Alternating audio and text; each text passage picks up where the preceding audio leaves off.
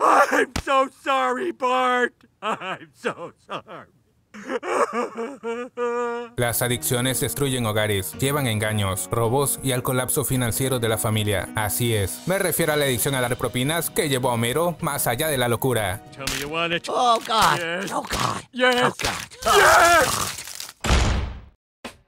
El episodio se titula The Tipping Point, que se traduce como El punto de inflexión, y cuya trama hace referencia a tipflation, que a grandes rasgos define el hecho de que en todos pinches lados te quieren estar cobrando propina, ya no solo en restaurantes. ¡Por un demonio, lo que faltaba! El capítulo arranca con Marjorie pidiéndole a sus carajitos que se apuren. Tienen que ir al médico. Lisa se queja de que será un largo día. Sin embargo, Barty cree algo muy distinto. Si sus padres dicen que será un pésimo día, es porque seguramente tendrán el mejor día de sus vidas. Parece que su hermana no entiende qué chingos quiere decir. Le muestra que es por una nueva tendencia que hay en redes. Por ejemplo, a una niña le dicen que irán al dentista. Tristemente lo acepta. Pero sorpresa, en realidad la llevan a Krusty Land. Esos dientes checos pueden esperar. No irán a ningún lado. ¿Esparcir las cenizas del abuelo? Nah, van a Krusty Land. ¿Ir a Krusty Land? Claro que no. Van a la iglesia. Ya con todos estos ejemplos se convence de que efectivamente van a Krusty Land. Ya casi llegan al centro médico. Guiño, guiño. Frenan y corren con celular en mano para grabar este emocionante momento en la plaza médica. Bartolo se niega a creerlo. Esto tiene que ser Krusty Land. Va a la montaña rusa. La recepción pregunta qué médico quieren ver, y pues a todos. Homero trae unos cálculos renales y descubrieron que es el último día del seguro médico. Harán todos los chequeos que debieron hacerse en un año en tan solo un día, para que sea gratis. De pronto Barty les presume que trae algo del bar de bocadillos. Dan inicio a los procedimientos médicos mientras suena de fondo la rolita Price Tag. Ese tatuaje de Marjorie sí que es tantito inesperado. Tiene el Timothy Chalamet.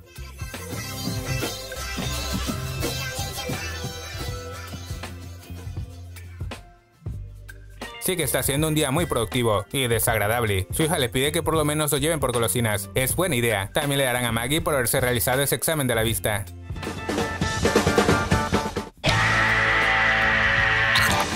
Van a una tienda de té con temática de Star Wars, cobran el producto y ya solo falta la propina, que va del 18 al 25% o nada por exigentes. Homer al ver la carita del pobre adolescente que refleja la frase, señor la propina representa el 90% de mi sueldo. Y bueno, ya ni pedo, ahí le va el 18% y la poderosa. Después van por el lado donde de nuevo piden propina, pero es algo absurdo. Ellos mismos sirvieron sus ingredientes. Hey, pero ese iPad no se giró solo. Paso mecha aquí piden desde el 20 y la presión social obliga a Homero a colocar el 22. Así continúa en cada lugar que va. Su hija nota lo fatigado que está, pero de inmediato cambia de humor por su siguiente destino. Lo que era la librería de Springfield ahora es un restaurante bar. La muestra literaria es deliciosa comida frita. Posteriormente llega el momento de pagar la cuenta. Hay que aplicar matemáticas. Mira que el total es de 227.53 dólares, con la tarifa de servicio incluida. Esto lo indigna, pero también lo alivia. Así no siente presión. Uy, uy, uy. Pues eso creía. Hay un espacio extra para una propina adicional. Ahí por donde le da gracias. Pero qué desgraciados. Le incluyen la propina y luego tiene que agregar otra propina. Cliquea con tal fuerza que asusta a Marge. Le escribe que ahí tiene un dólar y está bien. Ya se van. Solo que antes se termina todo lo que puede. Al salir la mesera corre tras él. Resulta que al escribir el OK junto al 1 pareciera que dice 10k, es decir 10 mil dólares. Hasta su esposa al verlo piensa que son 10 mil. La mujer está muy alegre. Jamás en su vida había tenido tanto dinero. Ni siquiera ellos. La gente se acerca para conocer a este hombre tan generoso. La pelea azul le recuerda insistentemente que ni en pedo tienen 10 mil dólares. Tiene que arreglar esto. Ja, que se esté tranquila. Se acerca a ella y rompe el ticket. La pobre no puede creerlo, y un salamero grita que ese pelón le robó 10 mil dólares a esa tal Sandy. There was already a gratuity on the bill. Ya se imaginó el posible terrible escenario, así que responde que tomó el ticket para subrayar los 10 mil dólares. Su propina accidental se volvió viral. Que no se preocupe, ya tiene un plan. Llamarán a la compañía de la tarjeta de crédito, denunciarán el robo de la tarjeta, se afeitarán la cabeza, cosa que a él no le hace mucha falta, y se unirán a un culto, alguno en el que no tengas que revolcarte con el líder. Pero un culto así no existe. Tiene que volver al restaurante y explicar que fue un error. Bueno, de todos modos, planeaba ir para comer papas fritas con chile. La cosa es que en la calle lo reconocen como el tipo de la gran propina. Incluso quieren su autógrafo, pero afirmar cosas lo metió en este lío. Otro man le grita que está en la portada del periódico. Hoy quiere comprar una, y de inmediato la gente agente se acerca para saber cuánto dará de propina. Seguramente será muchísimo dinero. Y así es, saca todos los billetes que tiene, puede quedarse con el cambio. Hasta hoy se había sentido invisible, como el avión de la Mujer Maravilla, o los tipos que venden flores, por primera vez lo ven. Now on, I'm gonna chip like Ben Affleck, and J-Lo's out of town, baby! Esta escena se recordaron una supuesta anécdota en la que Ben quiso dejar una propina de 10 mil dólares a una mesera y Jennifer López corrigió la propina arrebatándole el dinero. Al día siguiente el buen Batman le mandó flores a la mesera junto con 25 mil dólares disculpándose por lo sucedido. Arranca una secuencia de Homero al estilo Austin Powers, dejando las más grandes propinas por todos lados. Es una máquina de repartir dinero hasta que se le termina, pero va por más al cajero. Ahí también tiene su propina. Todo es puritita felicidad.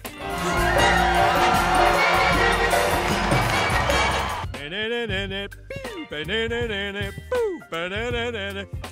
Le cuenta a su esposa que acaba de tener el mejor día de su vida. Con razón le han llegado notificaciones del banco de la cuenta súper sobregirada y que ya se detenga. Que no se preocupe, sabe muy bien cómo desactivar esas notificaciones. Lo que necesita es que tengan una conversación muy seria. Eso quiere decir que necesitará algo de coraje mexicano. A chingarse un burrito, aunque le faltó salsa. Se suponía que recuperaría el dinero, pero está fuera de control con las propinas. Es que se siente bien ser apreciado. En vez de ser juzgado por su apariencia, lo hacen por su billetera. Sí, pero ya se terminó los ahorros y los está Además le hace daño a sus hijos. Bartolito quiere saber dónde está su bicicleta. Le admite que se la dio de propina al barbero porque le limpió las cejas.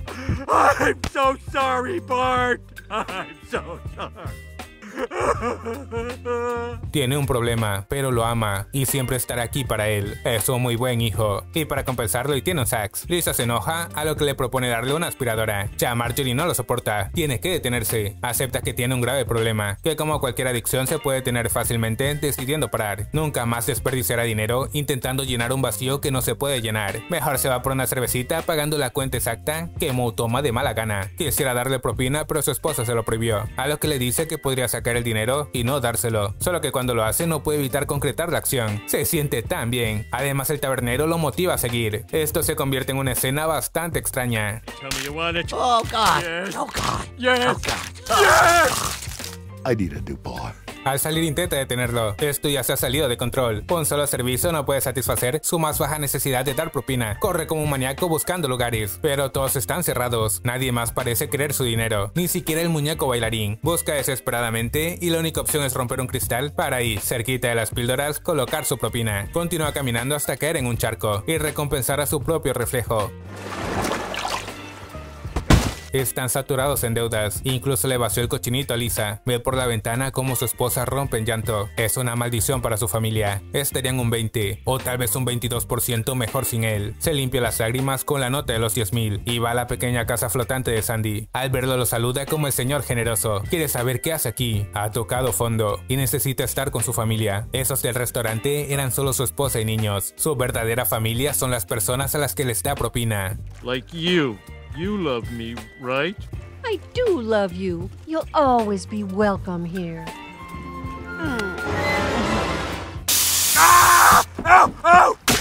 Le grita que la deje en paz. Parece que su relación fue tan solo una simple transacción.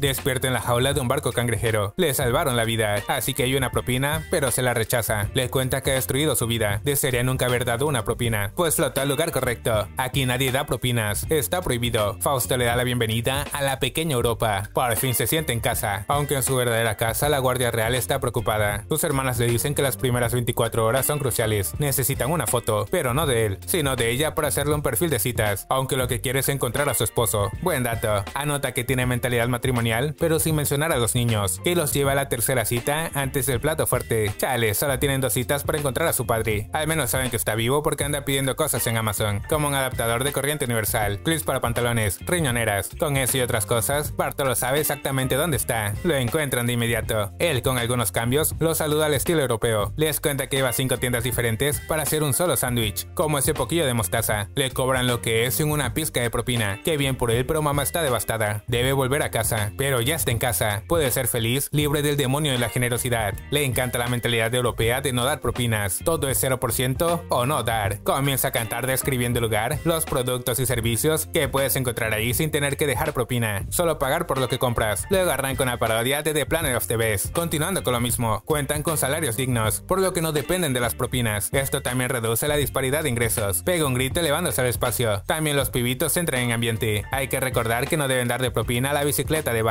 El precio impreso es el justo.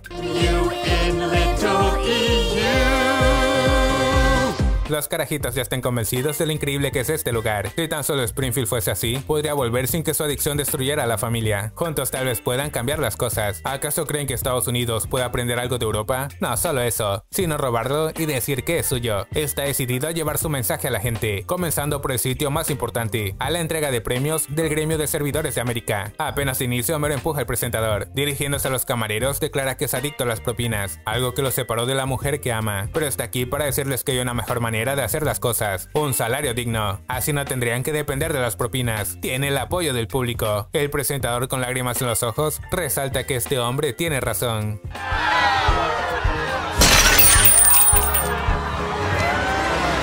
La reacción real es como si se las hubiese aventado. Se sienten insultados. La propina es la forma en la que decide la comida de quien no escupir. Es la peor idea que han escuchado. Un tipo del fondo lo reconoce. Es quien le dio los 10.000 grandes a su compañera y ahora intenta quitarles lo que les pertenece.